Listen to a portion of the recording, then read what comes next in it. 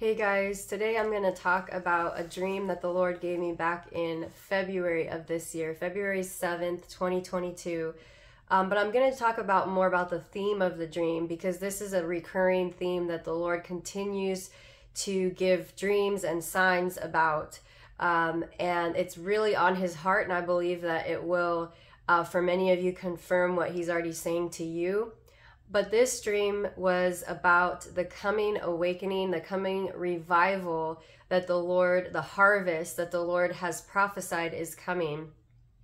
And we know that the it's not just yay revival's coming that the revival is going to be part of the fruit of the shaking and the tribulation and the trials that we're facing in the earth and that these trials and shakings are not going to just stop and and it's not over with but they're actually going to increase in the coming days as part of God's process of purifying the earth. He's purifying the nations and purifying governments and systems that need to be done away with or completely uh, reformed and restructured. And through this shaking and purification will come a great harvest. And if we didn't have the shaking and the um, the purification process that feels really r- rough and messy, then any sort of revival or harvest that would come in would not be able to be sustained because the systems and the actual nations that would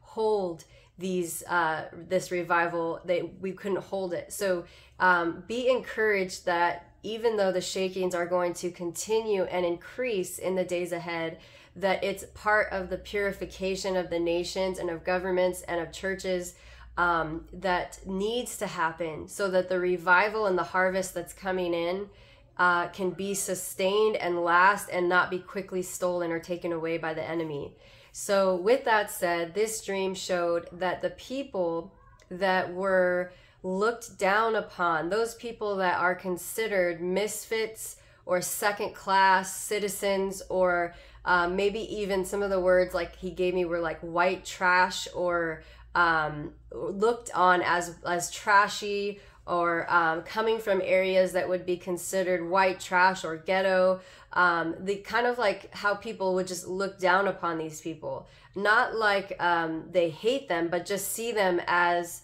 um, too rough around the edges maybe they uh, in the dream the lord showed me that some of these people even had really kind of dirty mouths like they they talked really uh, with a lot of curse words and they just were rough around the edges but these were the people in the dream that the lord had um, that the Lord was going to bring into the church and actually use these people as part of his upcoming harvest, that they were the ones he was coming for. And so the, the dream was an encouragement that we are not going to get to pick um, the, the church in some ways is too aligned with the culture and how they view people. And they look at people if they want them to be classy and polished and say the right things and not be rough around the edges or harsh or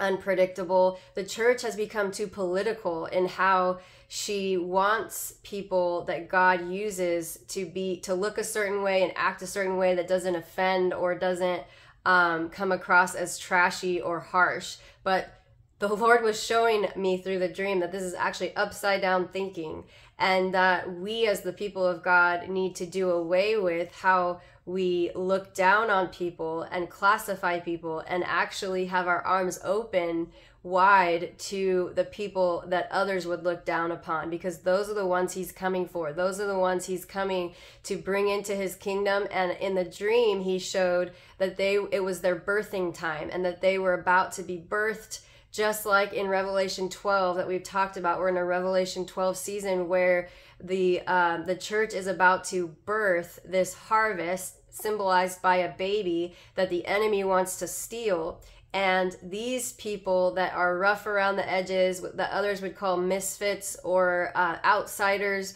or um, not good enough not polished enough are the ones the lord is going to bring in to the harvest but actually the ones he's also going to use to do his work in in the harvest as well and in this time. And so um, the, the main thing that the lord i believe was wanting to communicate to us as the as the remnant as the church is to not fall into any sort of religious mindset um, where our and he showed me that if we look down upon these people or wanted to cer- to look a certain way that um, he showed me through the symbol of a crooked nose that we would actually be unable to di- unable to discern what the Lord is doing if we're looking through the lens of a religious mindset that says I want this I want the people God picks to look a certain way, live in a certain area, have a certain income, talk a certain way, um, be polished and polite and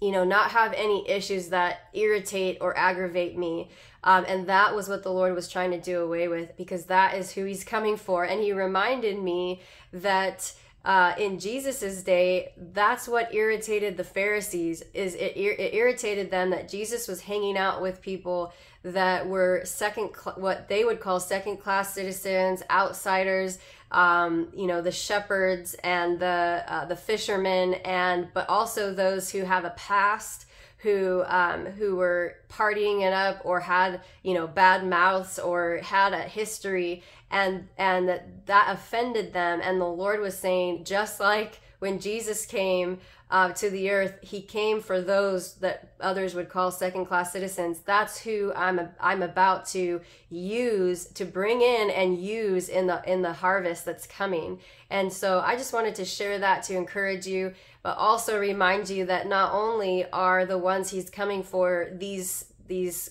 uh, those considered outsiders and misfits but he's also coming for the prodigals and those who you've been praying for that that every indicator in the natural would say they would never accept Christ and those are the people that he's coming for. So we need to get not put in not try to put in a box the way that God is going to operate. In fact, we need to be open to however the Lord chooses to operate in these days in this hour of revival and purification and to just join in and have ready hands and ready feet to jump in to however and whoever he wants to serve and bring up into his kingdom in this hour.